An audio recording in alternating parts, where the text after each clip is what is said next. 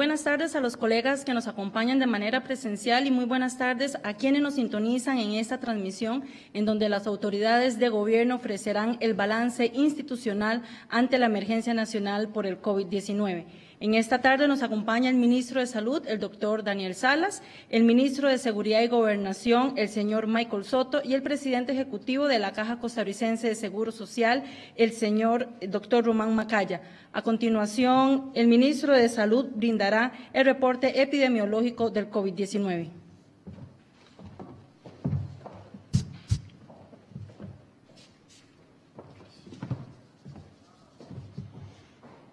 Bueno, muy buenas tardes a el ministro de Seguridad, don Michael Soto, presidente ejecutivo de la Caja Costarricense de Seguro Social, doctor Román Macaya, y a todos los que están siguiendo la transmisión.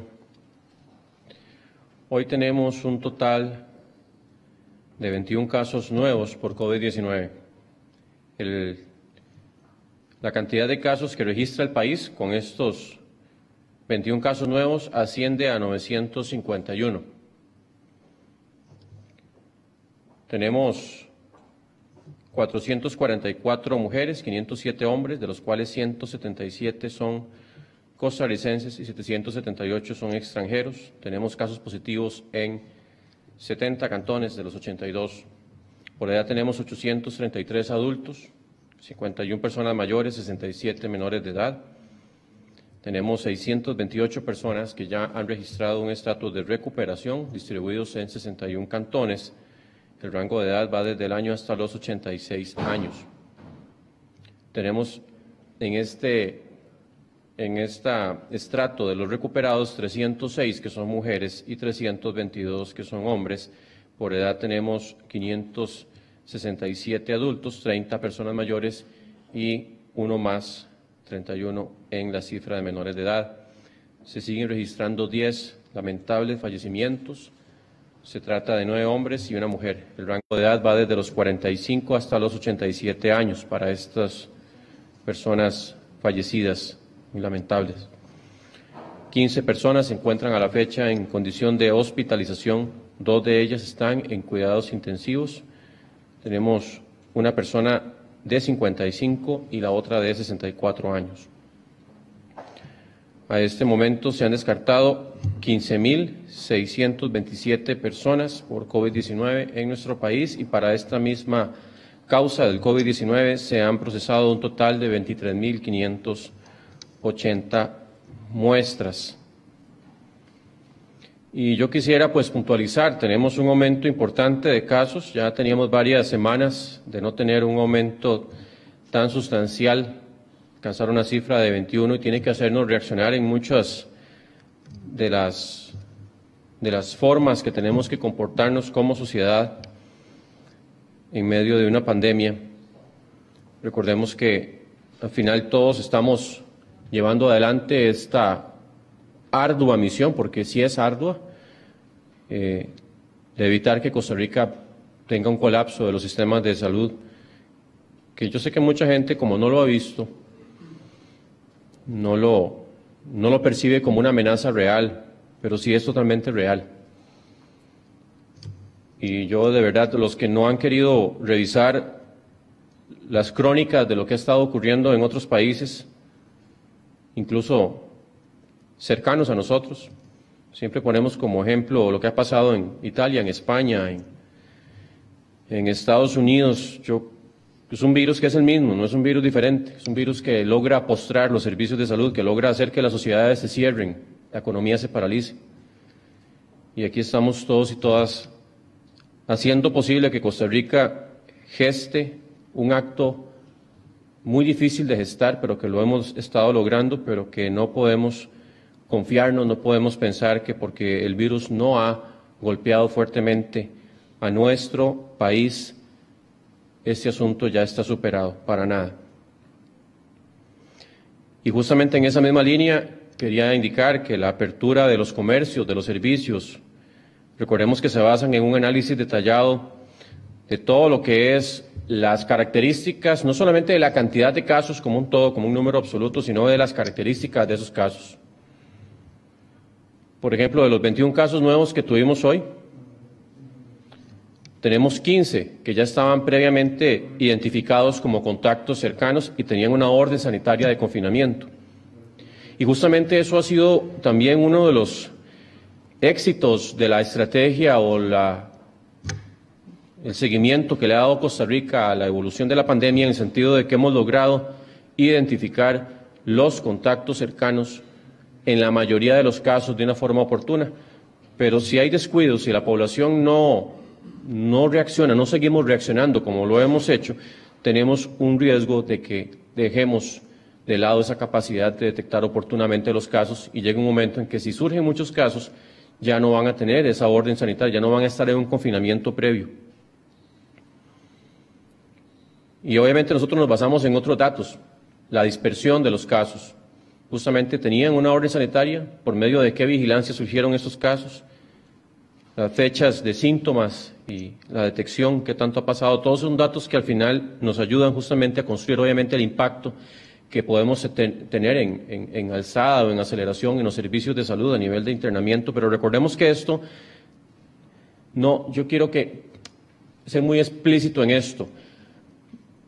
Hay un nivel en donde nosotros podemos tomar medidas, en donde todavía la capacidad de moldear el futuro de lo que está ocurriendo en Costa Rica con el COVID-19 lo tenemos. Pero llega un momento en que esa capacidad de moldear, de de hacer que las cosas sean diferentes, ya la perdemos. Y por eso es que tenemos que cuidar tanto lo que hemos logrado. Porque, insisto, si tenemos una aceleración de los casos, no vamos a poder detenerla. Ya por más que queramos, por más que pongamos todo nuestro esfuerzo, todo nuestro ahínco, por más que recordemos los momentos que vivimos en Semana Santa y previos, no vamos a poder recuperar una situación que se acelere. Y así que en ese sentido, pues yo quiero, vamos a tocar esa semana obviamente la reapertura para la siguiente semana de las actividades económicas, pero quiero indicar que todavía, y como lo dije anteriormente, estamos caminando en un terreno muy frágil, en un piso que está hecho de cáscaras de, huevo, porque eso, que en algún momento yo lo dije y, a mucha gente le llamó la atención, sigue estando vigente. O sea, nada está garantizado en medio de la pandemia y si esto se empieza a disparar, y si tenemos mañana una cantidad superior de casos y pasado mañana igual y empezamos a ver impacto en los servicios de salud, que ya no tenemos dos en cuidados intensivos, sino que tenemos tres, cuatro, cinco en cuestión de pocos días, todo esto que estamos tratando de, como les decía, de gestar todos en conjunto, porque esto es todos y todas. Aquí no hay una situación específica para el gobierno, para las empresas, para la población. Somos todos sosteniendo ese hermoso país que tanto queremos que se llama Costa Rica. Y yo quiero poner un ejemplo, por ejemplo, de, lo que está ocurriendo en esto, de, una, una persona que visitó una familiar que se salió de su burbuja social, fue a visitar a dos sobrinos fuera de la gran área metropolitana y sin saber que estaba infectada al final contagió a sus dos sobrinos. Y por el momento no es que estamos diciendo que esto vaya a provocar un brote enorme, pero cada caso de estos, si empezamos a transgredir, a no hacer caso de las reglas de oro, de todo lo que hemos venido pregonando en días anteriores, la situación puede complicarse en Costa Rica. Algo que yo estoy seguro que nadie quiere. Nadie quiere tener un país hincado, arrodillado por el COVID-19.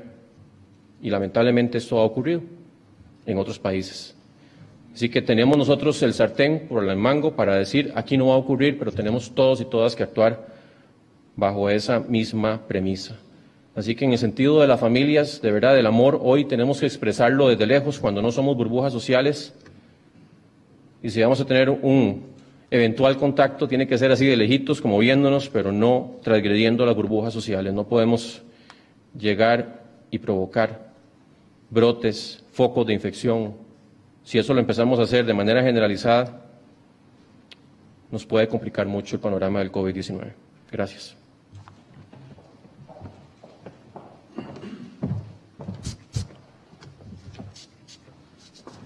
A continuación, escucharemos el informe de acciones de la Caja Costarricense de Seguro Social por parte del presidente ejecutivo, el doctor Román Macaya.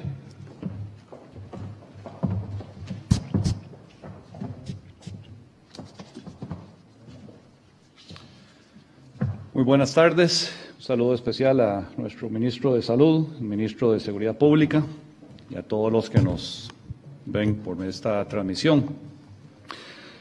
Hoy quisiera eh, resaltar varios puntos. Uno muy importante y que es una muy buena noticia es que este fin de semana comenzamos eh, la infusión de la primer paciente con esta terapia de plasma convaleciente. Es una mujer de 37 años que había eh, comenzado a tener problemas de todo tipo, incluyendo problemas respiratorios en Liberia. Ella, bueno, ella es eh, vecina de la Cruz y fue internada en el hospital de Liberia el jueves pasado. El viernes fue trasladada a SEACO y el sábado se le hizo la primera infusión de plasma convaleciente y ayer domingo se le hizo la segunda infusión. El protocolo que se ha aprobado en la institución es de dos infusiones de plasma, que recordemos que es eh, plasma de la sangre de pacientes recuperados. Y la lógica de esto es que el paciente que se recupera eh, hoy en día que no hay una terapia altamente eficaz, eh, esa recuperación la ha hecho su propio cuerpo generando anticuerpos que eliminan el virus del organismo. Entonces, esos anticuerpos permanecen en el plasma de la sangre. Entonces, tomamos plasma de un paciente ya recuperado, que ha sido dada de alta, y se le hace una infusión a un paciente nuevo que está activo con el virus para tratar de neutralizar la propagación del virus en el cuerpo de ese nuevo paciente. La paciente eh, muestra una evolución positiva, pero es, en este momento es muy temprano de, de, anunciar cualquier resultado, pero lo que sí podemos anunciar es que ya empezamos con el tratamiento de plasma convaleciente en la Caja Costarricense de Seguro Social. Son pocos los países en el mundo que tienen esta capacidad y afortunadamente vivimos en uno de esos países. Al día de hoy tenemos 61 bolsas de plasma convaleciente que se han, eh, se han tomado de 25 donantes. estos donantes eh, llegan de forma voluntaria a donar sangre, algunos de una forma sumamente altruista. Inclusive hay un paciente que ha donado tres veces así que agradecemos ese espíritu solidario de nuestros donantes y hacemos un llamado a todos esos pacientes, que ya tenemos más de 600, que por favor consideren donar su sangre, de la cual vamos a extraerle el plasma, para eh, ver si ese, ese plasma tiene eficacia en ayudarle a uno de nuestros ciudadanos a recuperarse más rápidamente por lo que ustedes ya pasaron. Es un, acto de, de solidaridad y de amor al prójimo. Y esta es una de tres estrategias que estamos implementando como país para tratar de desarrollar un tratamiento eficaz en nuestro territorio. Estos son desarrollos propios de nuestro país. Uno es este de plasma convaleciente, el segundo es tomar ese mismo plasma, pero de una mucho mayor cantidad de pacientes, purificar los anticuerpos de ese plasma y estandarizar su potencia para luego hacerle inyecciones de esos anticuerpos purificados a nuevos pacientes. Y la tercera es la opción con eh, el desarrollo de esos anticuerpos en caballos donde se puede generar unos, eh, unos eh, caballos hiperinmunizados que tengan una tal vez aún mayor potencia neutralizadora del virus. Todavía es temprano para decir si cualquiera de estas tres opciones vayan a, a funcionar, pero no hay razón para descartarlas y decir a priori que estas opciones no van a funcionar y están las tres siendo desarrolladas en Costa Rica, y si alguna de estas terapias funciona de manera eficaz, no solo ayudamos a resolver una situación sanitaria del país teniendo una opción clínica eficaz, sino comenzamos a trazar una ruta de una mayor normalidad en la economía. comenzaría a cambiar la lógica de todas las medidas de confinamiento y, lo que hemos estado eh, eh, experimentando, digamos, o, viviendo en estos días o estos meses. Así que esperamos que funcionen y les vamos a estar anunciando eh, los resultados a cómo los vamos generando. Segundo punto es que hoy, se, hoy es el, el, aniversario número 46 de la fundación del CENDEIS, que es el, el Centro de, de, Desarrollo Estratégico e Información en Salud y Seguridad Social. El CENDEIS es el eje de desarrollo de nuestro recurso humano en la Caja Costarricense de Seguro Social, tanto en el área de salud como en seguridad social en general.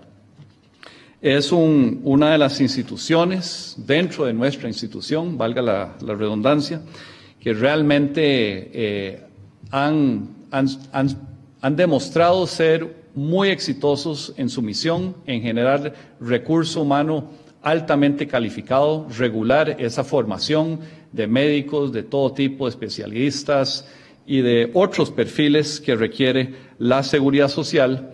Y aún hoy, en medio de una pandemia, sigue dando de qué hablar el SENDEIS. Recordemos que todos los pacientes positivos eh, por COVID-19 son contactados a diario por un grupo de casi 50 residentes eh, en medicina familiar y comunitaria que son coordinados por SENDEIS y estos eh, contactos se hacen para, para, contestar preguntas a estos pacientes, para orientarlos, para monitorear sus síntomas, ver cómo están evolucionando con su enfermedad, para intervenir y trasladar pacientes o coordinar esos, esos traslados a los hospitales cuando sea necesario. Y quisiera dar unas estadísticas. Desde el 25 de marzo al día de hoy, o sea, exactamente dos meses, eh, el Sendeis, por medio de este grupo de, de residentes en medicina familiar, ha realizado 9.846 consultas. Son consultas que se hacen de forma virtual, ya sea telefónica o videoconferencia. Se han hecho 30.973 anotaciones en, los expedientes del EDUS de cada uno de estos pacientes y se han atendido a 821 pacientes.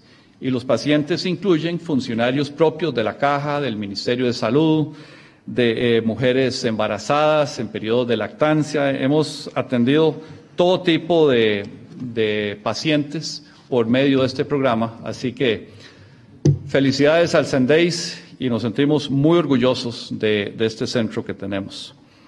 Y quisiera eh, nada más resaltar que eh, los, números que, que, mencioné de pacientes, que son esos 821, no, no, coinciden exactamente con el total de número de pacientes acumulados desde el 6 de marzo, porque algunos de esos pacientes inclusive ya no están en el país, ya eran tal vez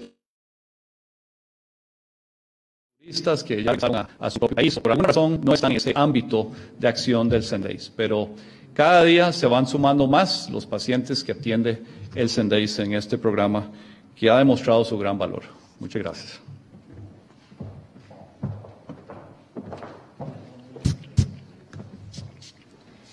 Cedemos el uso de la palabra al ministro de Seguridad y Gobernación, al señor Michael Sato, quien ofrecerá un estatus de los operativos realizados este fin de semana.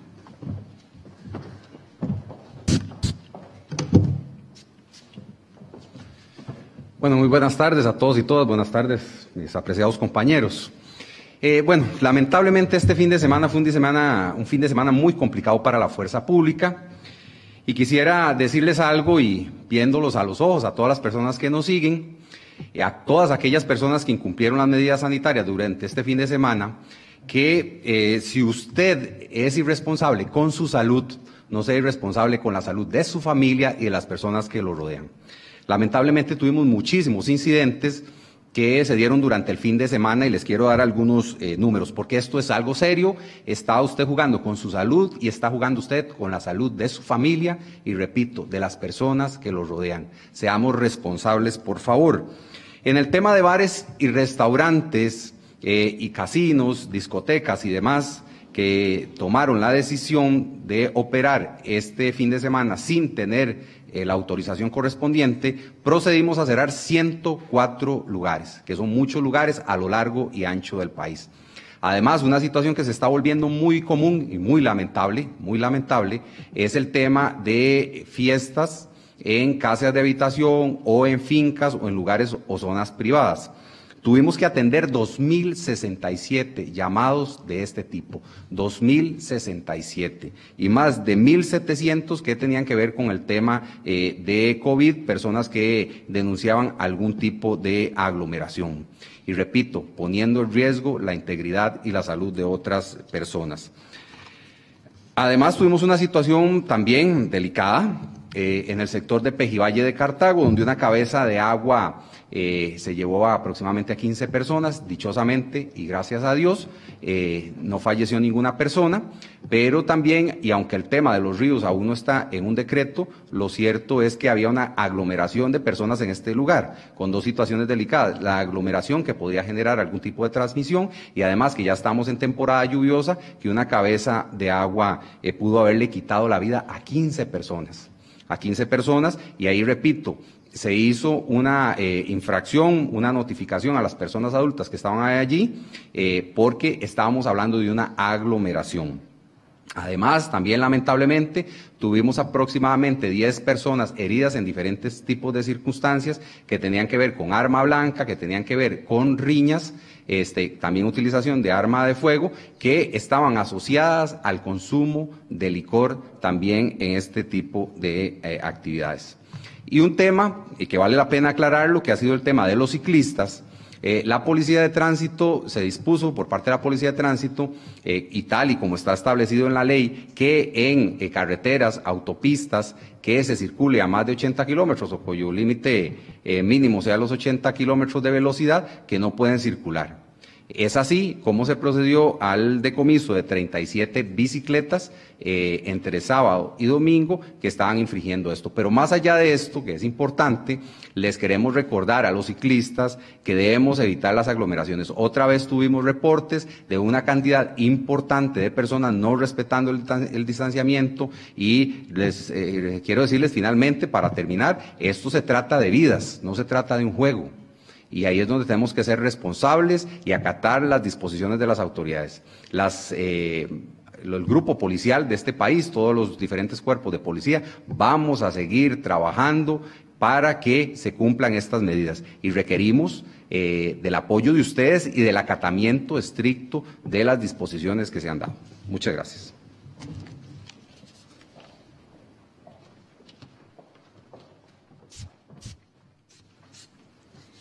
Iniciamos el periodo de consultas presenciales con el medio puroperiodismo.com con el colega Edgar Fonseca.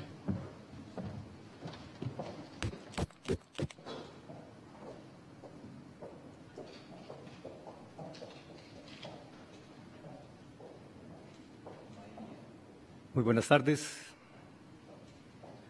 Mis consultas dirigidas a los presentes.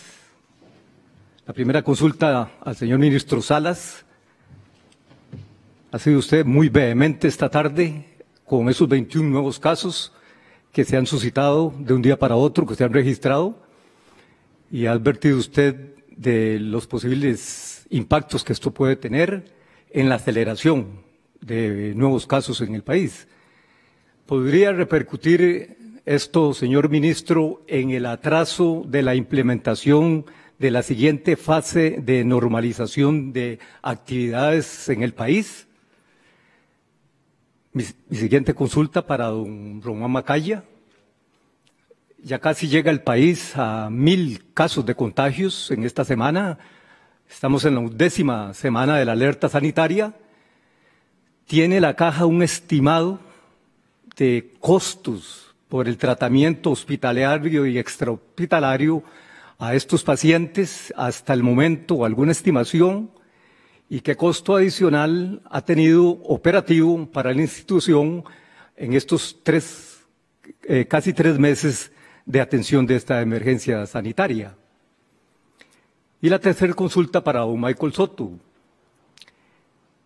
El país ha tenido toda la voluntad de abrir fronteras, de mantener fronteras abiertas a la actividad comercial. Sin embargo, ni Nicaragua, con el bloqueo ordenado por Ortega, ni Panamá, con el bloqueo que mantienen transportistas, muestran eh, un primer paso de, apertura en ese sentido. ¿Cuál es el resumen de situación que usted tiene para el país en este momento del estado de, aperturas en, en el sector fronterizo? Muchas gracias.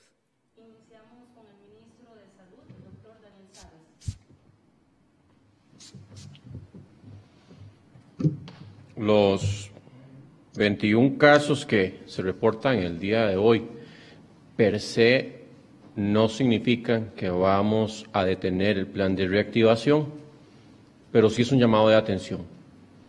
Sí es un llamado de atención y lo que hemos dicho, o sea, si esta condición de aumento de casos se sostiene o incluso se incrementa y llegamos a empezar a ver ya muchos casos que, por ejemplo, no tenían una orden sanitaria previa, que están surgiendo en diferentes partes del país, que ya tenemos un incremento en, importante en lo que es el internamiento y específicamente en, en cuidados intensivos en la caja, pues obviamente eso no solamente nos podría hacer detener la agenda de reactivación, sino incluso ir para atrás. Eso lo hemos dicho súper claramente. Cuando yo presenté el slide del cronograma de reactivación, había una animación al final, que era que se convertía todo en boronas.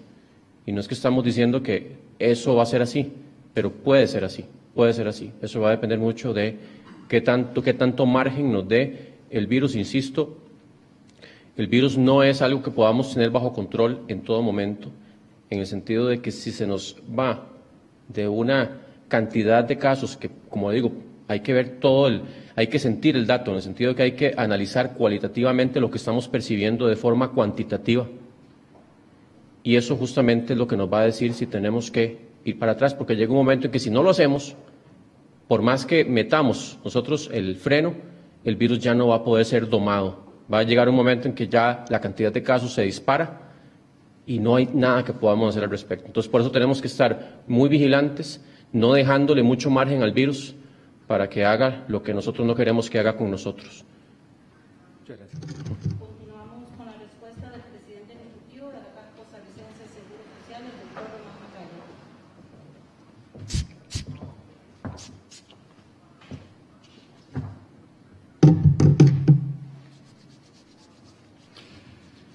Bueno, con respecto a los costos que ha incurrido eh, la caja en la atención de esta pandemia, esto es algo que se lleva día a día. No tengo el último dato, pero ya vamos por más de la mitad del fondo de emergencia en, lo que es la atención, en todo lo que es inversión en equipo, en, insumos de protección, en kits de pruebas. Eh, hay otro costo que todavía no hemos contabilizado, que es todo el costo de las cirugías, los procedimientos, las consultas pospuestas, reprogramadas, que vamos a tener que actualizar.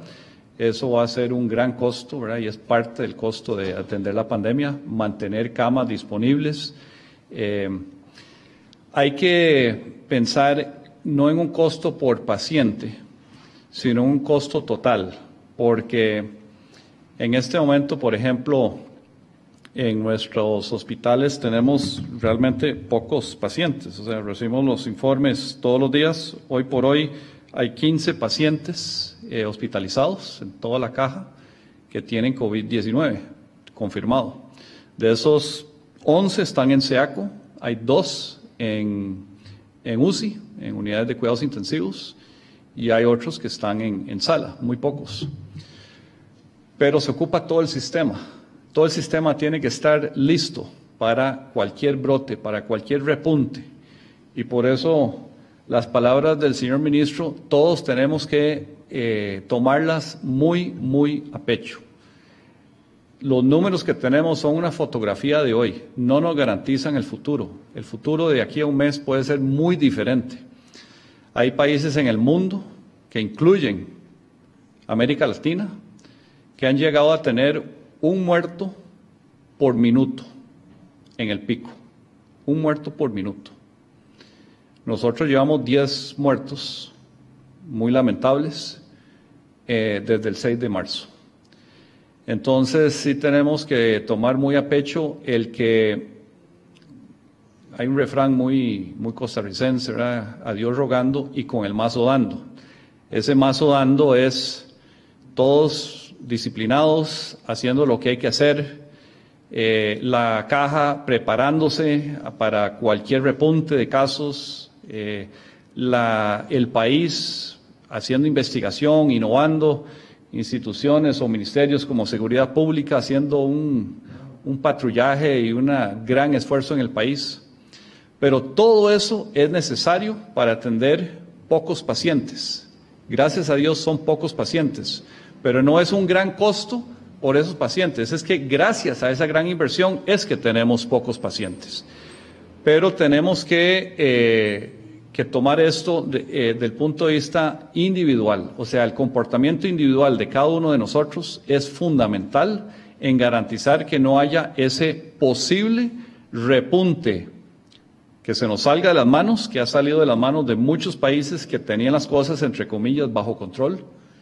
Y por eso eh, hago eco de las palabras del señor ministro en, en ese llamado, porque si eso sucede, eh, no hay sistema de salud que aguante, ¿verdad? No hay ni en Europa ni en Estados Unidos, ningún, ningún país del mundo tiene un sistema de salud tan robusto que pueda atender todos los casos que puedan materializarse en un país.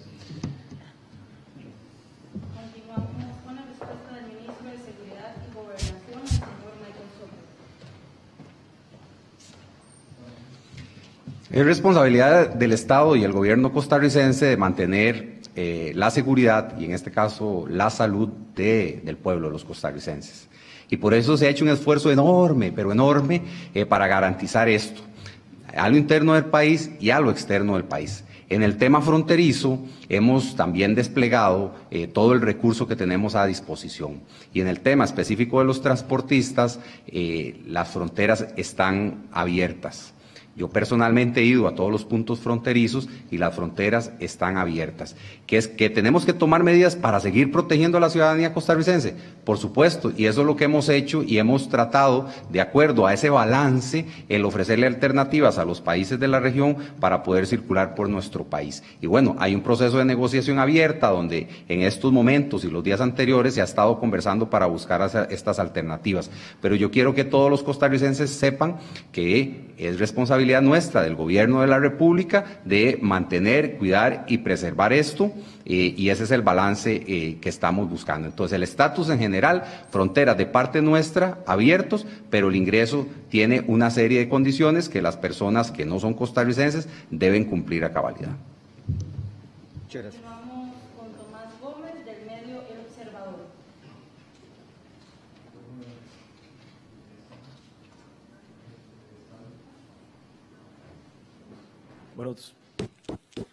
Buenas tardes. Puntualmente queremos consultarles por el tema de la hidroxicloroquina. Hoy la OMS suspendió su uso, por lo menos de manera temporal. Queremos saber cómo va a funcionar en Costa Rica. Y después queremos consultarle a las autoridades de salud de los pacientes ya recuperados que registramos, quienes estuvieron hospitalizados, han tenido alguna consecuencia, alguna secuela particular en su salud por el grado de afectación que tuvieron. Muchas gracias.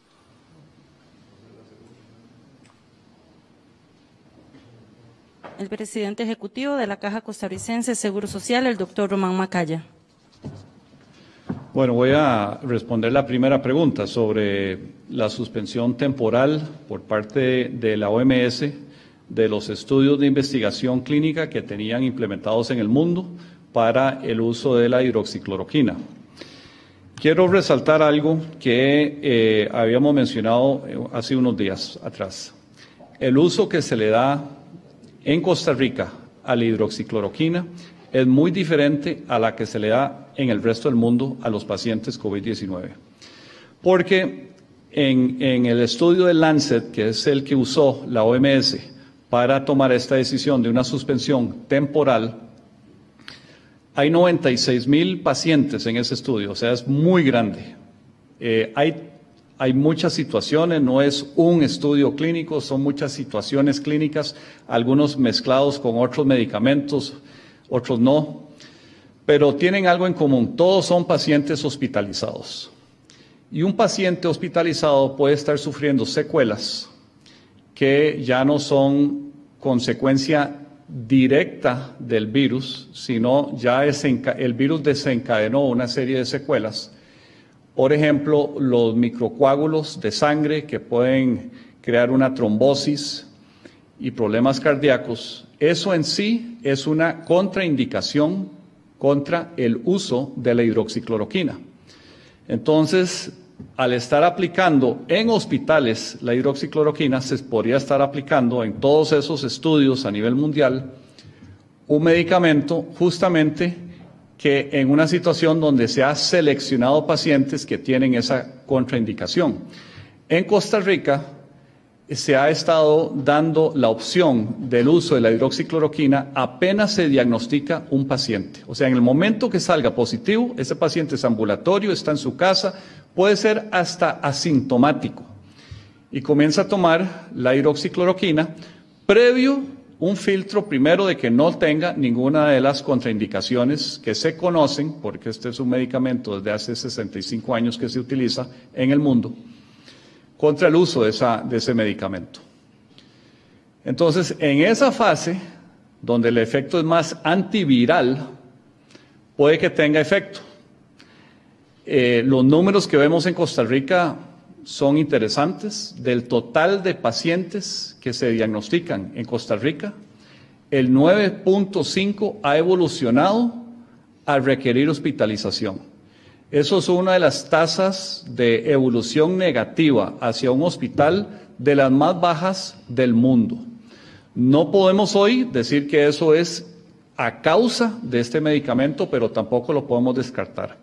Sin embargo, después de haber dicho todo esto, hemos eh, decidido que se convoque de forma extraordinaria y urgente el Comité de Farmacoterapia de la Caja para revisar todos los resultados que hemos estado viendo en, en territorio propio, contrastar las situaciones y los contextos en los que se está dando el medicamento y hacer una, una, valoración si se suspende también temporalmente basado en, en, esa, en esa reunión que se va a programar en, las, en los próximos días. Pero resalto que son situaciones muy diferentes y que Costa Rica está teniendo diferencias en hospitalización muy diferentes al resto del mundo que todavía tenemos que investigar la causa del porqué más para estar claro, se va a seguir implementando el medicamento hasta que se reúna el comité de, de pues esa reunión es urgente, o sea, eso va a pasar en, en el muy corto plazo. Estamos eh, a raíz de esta decisión de la OMS, es que se, se, está convocando el comité de farmacoterapia para tomar esa decisión. Gracias.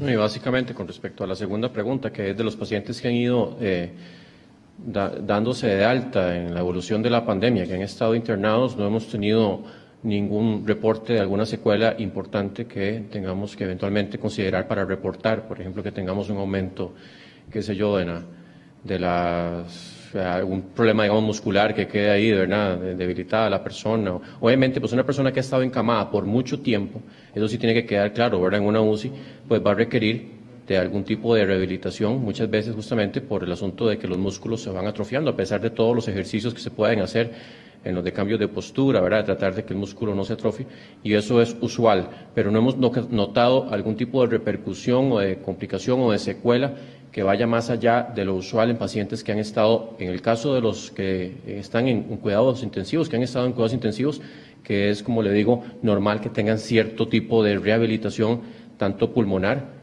como eh, también muscular o de otro tipo. Y una vez, perdón, que el paciente es dado de alta, ¿por cuánto tiempo le da seguimiento el Ministerio de Salud o la caja en su defecto? Aproximadamente unas dos semanas, una semana, dos semanas más, dependiendo de qué, digamos, la condición obviamente en que se dio de alta. Si la persona ha estado pues en una situación mucho más crítica, más complicada, pues se puede extender ese periodo. Pero generalmente sí estamos en contacto un poco, algunos días más, ¿verdad?, con la persona. Como le digo, si ha sido un cuadro que en realidad no requirió ningún tipo de intervención especial, pues ese, ese periodo va a ser mucho menor. Muchas gracias a los dos. Continuamos con las consultas que nos llegan vía remota de los medios regionales. Iniciamos una consulta para el doctor Daniel Salas, Mundo Escaso Consulta. ¿Cuánto es el máximo de casos que se van a permitir por día para seguir con el cronograma sin cambios de la reapertura que dictó el Ministerio de Salud?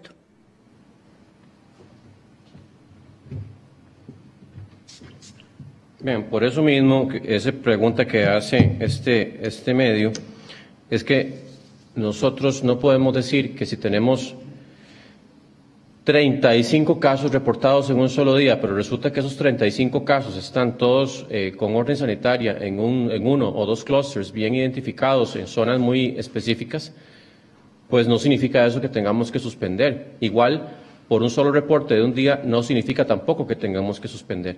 Lo que yo expliqué al inicio de la conferencia es que eso va a depender de las características no solamente cuantitativas, o sea, de la cantidad de casos, sino de la lectura que podamos hacer de esos casos. ¿Dónde están? Son muy dispersos, no tienen clúster, no tienen orden sanitaria previa, están surgiendo de diferentes tipos de vigilancia, como la de zonas de riesgo, la centinela, o son casos que ya están asociados a otros casos, están confinados. Eh, tenemos, no tenemos, por ejemplo, el reporte de vigilancias positivas en las zonas de riesgo, en, en zonas eh, centinelas, ¿verdad? Que eso pues obviamente nos orienta en el sentido del índice de positividad, que tanto se está aumentando, que recordemos que el índice de positividad es, yo puedo tener 200 pruebas hechas hoy y resulta que tengo 20 personas que salen positivas, pero si yo hago 200 pruebas hoy y resulta que tengo 100 positivas, es un 50%, ya me está hablando de que hay una, un aumento en la, en la transmisión local y que eso obviamente me tiene que alertar. Obviamente todos esos factores se conjugan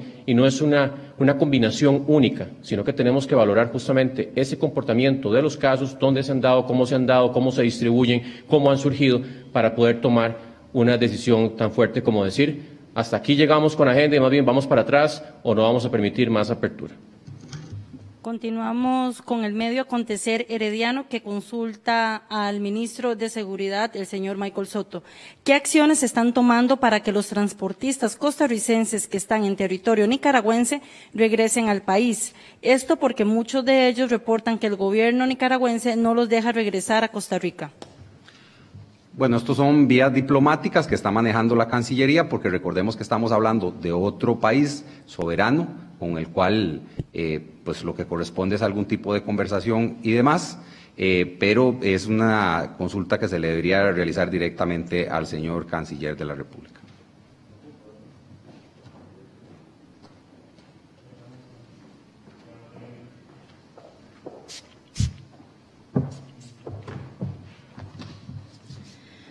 Damos por concluida esta conferencia de prensa. Agradecemos la participación del ministro de Salud, el doctor Daniel Salas, al ministro de Seguridad y Gobernación, el señor Michael Soto, y al presidente ejecutivo de la Caja Costarricense de Seguro Social, el doctor Román Macaya. Agradecemos su sintonía. Los esperamos mañana con una nueva actualización al ser las 12.45 de la tarde. Muy buenas tardes.